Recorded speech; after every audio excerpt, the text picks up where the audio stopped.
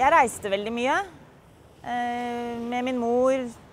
Og av og til var min mormor med, av og til var hun ikke med. Men jeg fikk eh, Mormor sendte meg alltid bøker, og jeg var alltid på nye steder, nye skoler. Og var kanskje litt eh, Var nok ganske ensom mye, for jeg var alltid den nye jenta i klassen. Men da hadde jeg alltid en bok. Så, og det, det var jo et sted man Jeg kunne gjenkjenne eh, ting som jeg trodde at jeg var alene om. Og det husker jeg som en stor og fin ting. At hvis jeg kjente på en ensomhet eller at jeg var redd for noe, eller at noe var merkelig, så kunne jeg kunne finne igjen det i bøkene. Jeg tror det var først og fremst gjennom min mormor, som eh, var bokhandler. Og som var veldig ofte hos meg eh, fordi mine foreldre arbeidet. Og hennes store kjærlighet var bøker. Hun var også språkkvinne i Norge. Så hun var meget nøye med at jeg brukte språket riktig, og at jeg var dannet. Men også at jeg leste. Og hun var streng på mange ting, slik vi sier streng på norsk.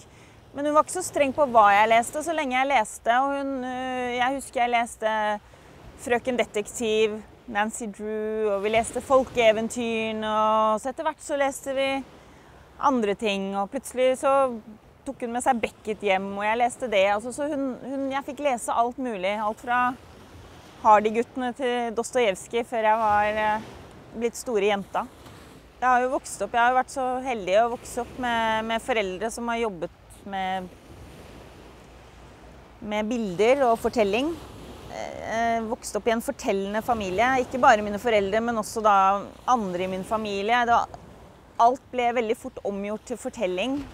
Eller til bilder. Altså, jeg husker jo veldig tidlig vi kunne gå ut dette er, det, dette er det beste lyset, og det lærte jeg da jeg var veldig liten. Å se på havet på Fårö på Gotland, og min far kunne si sånn Ikke engang Sven Nyquist kunne gjort dette bedre. Jeg mener, dette med å omgjøre lys og bilder og erfaring til fortelling og til nye bilder, det, det har jeg jo fra jeg var liten. Og film har jeg jo vokst opp med. Jeg, mener, jeg har sett film siden jeg var Alltid. Ofte flere ganger om dagen. Og jeg tror jo filmen Altså det filmatiske har betydd mye også innenfor mitt forfatterskap. Å se, se noe for seg. Jeg tenker mye bilder når jeg skriver. Og så prøver jeg å skildre de bildene så godt som mulig. Altså belysning er viktig for meg i språket. Hva er lyset? Eh, bevegelsene. Det er fordi jeg, altså kroppens bevegelse gjennom siden, hva er koreografien i, i, denne teksten? Det kan hende at fordi jeg danset klassisk ballett i så mange år, at kroppens bevegelse, koreografi, musikk At eh, det spiller så stor rolle for meg. Men jeg tror at romanen eller litteraturen, teksten, er jo et sted hvor man kan få inn både billedspråk, musikken jeg begynte jo ikke som forfatter. Eller jeg hadde egentlig jeg, jeg, jeg, jeg, vil si at jeg begynte veldig som leser. Jeg hadde planer Jeg gikk på og studerte litteraturvitenskap i New York University og hadde planer om å ta en doktorgrad og så fortsette, med studiene og bli professor. Og ville undervise i litteratur og jobbe med akademiske tekster. Uh, var kanskje litt for forelsket i det akademiske liv en stund. Men det var veldig fint. Men så ble det ikke sånn. Ehm, og så jobbet jeg som journalist i veldig mange år og litteraturkritiker. Og journalistikken har jeg veldig med meg. Det er jo, selv om jeg ikke jobber aktivt som journalist nå, så er det altså den disiplinen, det usentimentale ved det å være journalist, det å gjøre sitt arbeid, det å møte en deadline, det å hele tiden måtte vende seg ut, altså være oppdatert, følge med, snakke med mennesker, lese Det er bra. Og så husker jeg bare veldig tydelig at jeg hadde så lyst til å skrive den romanen jeg skrev for veldig lenge siden da jeg debuterte. At det var ikke det at jeg, å, jeg vil bli forfatter. Det var bare en fortelling som, eh, som jeg hadde lyst til å skrive, som ikke som ikke journalistikken kunne romme, som var en, eh, en imaginær fortelling. Jeg har nok aldri vært av den sorten som er veldig opptatt av et jeg som sitter helt alene og tenker på hva, hvem er jeg, og hvor er jeg, og hva med min angst, og hva med min sorg. Altså, eh, altså det ensomme jeget har aldri egentlig vært det som har opptatt meg. Jeg er interessert i hva som skjer når mennesker begynner å skave mot hverandre når, eh, når personer eh, møtes og ting oppstår. Jeg tenker Man oppstår ikke som et jeg uten at det kommer en, en annen. Går tilbake på det filmatiske igjen. altså hvem, hvem blir sett? Og gjennom å bli sett så blir du beskrevet. Og hvem ser du? Og hvilke blikk Og disse blikkene, de skaper jo fortellinger. Hvis jeg ser deg, så blir det en fortelling, og du ser meg, så blir det en fortelling. Hvis noen andre ser noe annet, så blir det en annen fortelling. Og hvordan disse blikkene og disse fortellingene ja, både eh, slåss med hverandre og, og utfyller hverandre og motsier hverandre. Og det med hvordan fortellinger mellom personer oppstår, og handler mye om hvem som ser hva når. Jeg tror vel at de tre siste romanene mine, eh, 'Nåde' og 'Et velsignet barn' og 'Det dyrebare' Altså, alle handler om livsforsøk. Og selv 'Nåde', som var så opplagt en roman om døden, og det fins voldsom og brå død også i de to senere romanene, så mener jeg at bøkene handler om livsforsøk. Mennesker som forsøker, forsøker seg på kjærlighet. Eh, forsøker seg på livet, forsøker å, å, eh, å være være der for andre mennesker, men så går det jo ikke alltid så bra. Så, så jeg vil heller si at enn at bøkene handler om død, fordi at alle har, veldig, har mye død i seg, så er det om mennesker som, som, eh, som driver med livsforsøk. Men også mye de tre siste romanene om ansvar og konsekvens. Eller altså, si det litt mer liksom, bombastisk og klassisk. Altså forbrytelse og straff. Og skyld og ansvar. Disse Fins det forsoning for Fins det, det var et spørsmål i et velsignet barn. Altså er det Om man begår en grusom handling, fins det, det forsoning? Hvis man ikke helt forsto at det var en grusom handling. Eh, er det mulig å svike på det groveste og likevel og, og, de mest forferdelige ting skjer, og allikevel kunne leve videre med det? Det er spørsmålet i det dyrebare. Det er jo det vi holder på med, det er jo det vi spør oss eh, om. Og det er jo laget mye mye morsom, morsomme bøker og morsomme filmer om uh, disse temaene med, med, skyld og straff.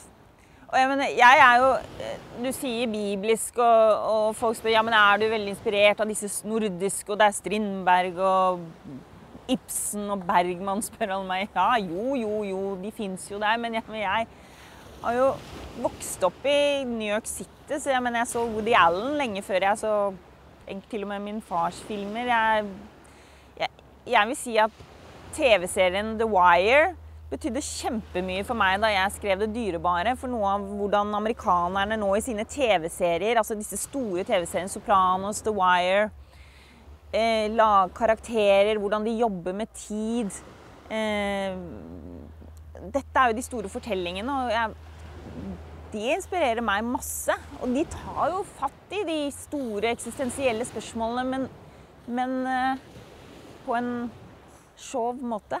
Jeg, eh, eh, det formmessige kommer ofte nesten som en intuitiv forståelse av hvordan, hva, hva, slags form skal denne boken ha. Og ut fra formen kommer ofte plottet.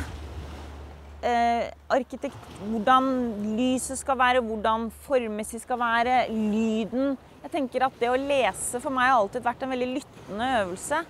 Det er jo noen bøker hvor jeg rett og slett jeg, jeg kan ikke huske hva de handler om. Du spør meg sånn, hva, hva, er en av dine yndlingsromaner, så kan jeg si en av de største leseropplevelser jeg har hatt, er noen tidlige romaner av Jon Fosse som het 'Melankolia 1 og 2'. Men jeg husker virkelig ikke så mye av hva, hva, det handlet om, eller hvordan de var. Men jeg husker noe med lyden av de bøkene. Det er et, en, en, intuitiv Det å lese er en intuitiv lyttende øvelse, og det handler jo om komposisjon. Og, det tenker jeg også at det å skrive om altså Det handler jo om komposisjon. Altså En historie er ingenting uten komposisjonen. Hvem er det som forteller det? Når er det hun forteller det, eller han? Hvor står hun når hun ser det og det? Så alt handler jo om hvor de forskjellige er plassert og koreografert, og hvordan disse fortellingene veves inn i hverandre. Og da blir plott, altså klassisk plott Det begynner her, det slutter her. Det blir mindre viktig. For hva er begynnelse og hva er slutt? Det er jo en av de spørsmålene som som personen, eh, en av personene stiller seg hele tiden eh, i, i, den siste boken min, som er forfatter. Som ikke klarer å skrive sin bok, men han lurer jo hele tiden på når begynte det. Ja, eh, jeg har ganske mye, men ikke så mye. Jeg har ganske mye hvordan, hvordan den skal nærmest høres ut. Altså hvordan den skal formes i være sammen. Og ut av det så springer personskildringene. Og så må jeg tørre å gå der hvor den disse, dette tar meg. Altså, kunst handler jo om erkjennelse. Og, og i, i, erkjennelse fins også trøst som et begrep. Så det, gjelder, det, det vil gjelde all kunst. Og stor kunst makter jo kanskje å få mennesker til å erkjenne noe. Jeg tror man skal være forsiktig med å pålegge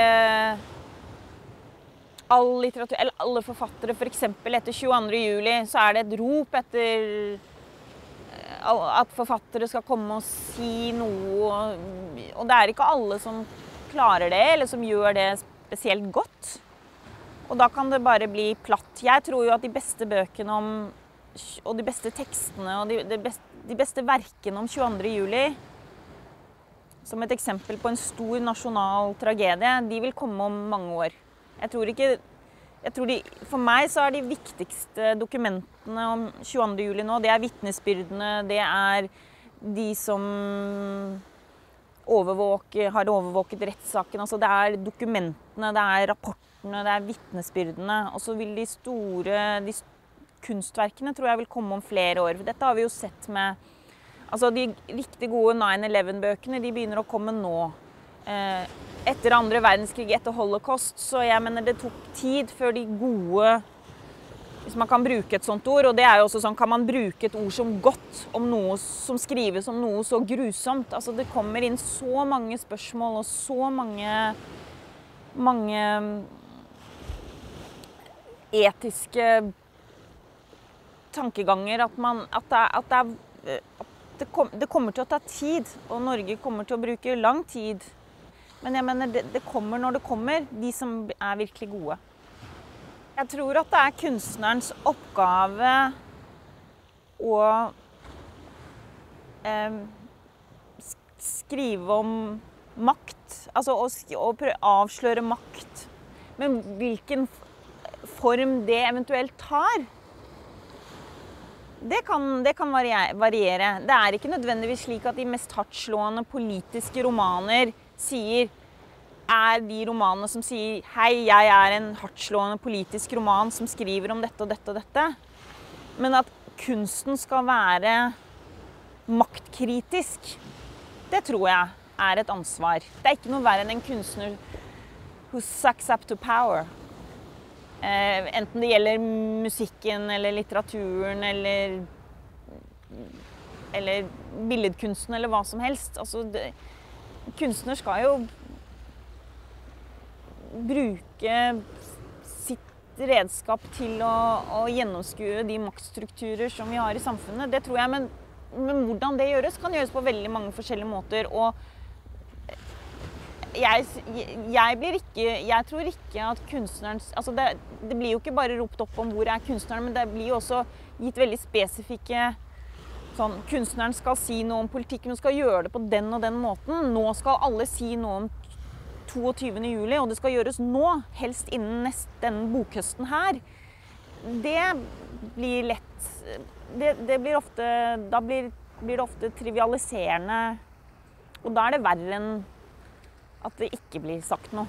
Eh, jeg tenker jo at vel, flere av mine bøker handler om maktforhold. At i språket så ligger makt, og at uh, nåde handler om, om, makt. Altså hvem eier liv og død, og, og hvem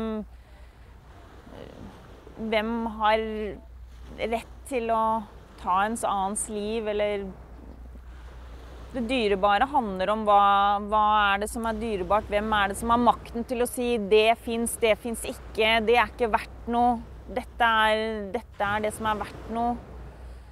Ja, den som eier fortellingen, det er jo ofte det som, som er makt. Både på, i, i samfunnet. Hvis noen sier 'dette er vår fortelling', slik er det, den personen har jo makt. Og det vil jo politikere gjøre hele tiden. Dette er vår fortelling. Dette er fortellingen om 22. juli, sier våre øverste politikere nå. Og da er det jo faktisk opp til forfattere kanskje ikke å gå inn i den historien som, som vi blir fortalt hele tiden i Norge. Det er det, tror jeg. I den gode litteraturen så er det noe som er uh, gjenkjennelig. Men jeg tror at i den gode litteraturen, for at den skal være riktig god, så skal det også være det gjenkjenneliges motsetning. Det skal også være det elementet av det fremmede. Det som er ikke det jeg sier 'Å, nå kjenner jeg meg igjen'. 'Å, dette er eh, slik jeg også har det'. Altså, da blir jo litteraturen kun et speil. Og jeg tror jo litteraturen må også blikke utover. Så de største leseropplevelsene jeg har hatt, er hvor jeg dels kjenner at jo, men eh, teksten slår opp sitt øye og ser på meg. Jeg kjenner meg igjen. Det er noe jeg kjenner igjen, men det er også en sånn følelse av Wow! Dette skjønner jeg ingenting av. Hvordan kom jeg hit? Jeg er veldig forvirret av denne boken. Her har han, denne forfatteren, tatt meg til et sted jeg ikke hadde forventet, som jeg ikke kjenner igjen. Og nå må jeg konsentrere meg på å forstå hva det er. For det er ikke noe som fins i meg, dette er noe som fins utenfor meg. Så hvis litteraturen klarer både det med gjenkjennelse og det som er utenfor gjenkjennelsen, altså noe helt fremmed, og vippe leseren av pinnen, da er det, det juice. Da er det skikkelig juicy bra.